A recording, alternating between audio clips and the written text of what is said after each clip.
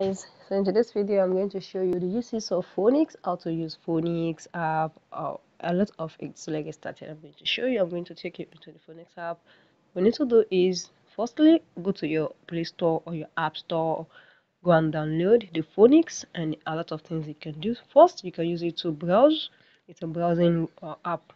The next thing you can do is this is it. You can explore. It is for status saver. You can see if you click on the status saver it's going to I'm going to save all the status within 24 hours automatically. Just click on continue. You're gonna say save be or uh, you're going to automatically save all your status and also uh, another thing you can you can clean up your WhatsApp. I'm going to use that one to clean up my WhatsApp. It has a lot of features on it. Very, very good. There's another thing. Let's wait for the WhatsApp to finish cleaning. You can see you can see another thing is on the Phoenix you can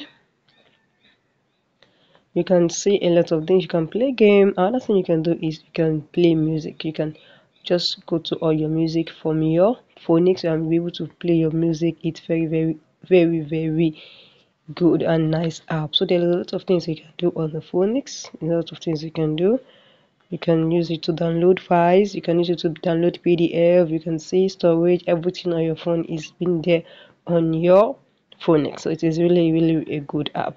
So guys if you found this video helpful smash the like button drop a comment and subscribe. Explore more on your Phoenix app